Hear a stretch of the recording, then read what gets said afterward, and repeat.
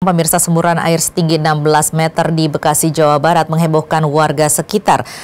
Semburan dengan tekanan tinggi terjadi saat warga mengebor air tanah sedalam lebih dari 160 meter, sementara kejadian tersebut menjadi tontonan warga sekitar. Warga Kampung Simpur, Desa Ciantra, Cikarang Selatan, Kabupaten Bekasi, dihebohkan dengan munculnya semburan air setinggi 16 meter dari sumur milik Musola Al-Ikhlas saat sedang melakukan pengeboran. Kuatnya semburan bahkan membuat heboh warga sekitar hingga jadi tontonan masyarakat. Peristiwa tersebut bermula saat warga sedang mengebor air milik musola, namun semburan kencang tiba-tiba muncul dibarengi keluarnya air dengan tekanan tinggi. Sejumlah warga yang sedang melakukan pengeboran sempat kabur karena baru pertama kali terjadi.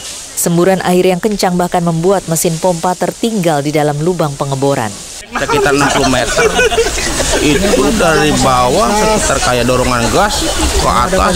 Pipa yang ukuran dua, dua ini tuh loncat ke atas. Kaget. Jadi pekerjaannya pegawainya itu semua pada kabur pada lari. Kaget. Terus langsung keluar air.